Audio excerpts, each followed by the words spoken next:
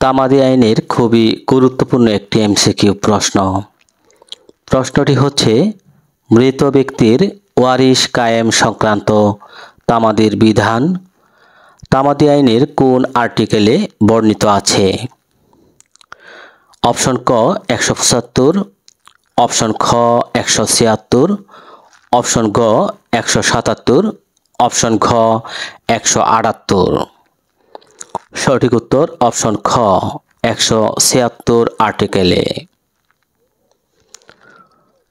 তামাদি আইনের একশো ছিয়াত্তর আর্টিকেলে বলা হচ্ছে, মৃতবাদী বা আপিলকারীর বৈধ প্রতিনিধিকে পক্ষভুক্ত করার জন্য দেওয়ানি কার্যবিধি অনুসারে দরখাস্ত দাখিল করতে হবে, যার মেয়াদ হচ্ছে নব্বই দিন, অর্থাৎ তামাদি মেয়াদ নব্বই দিন।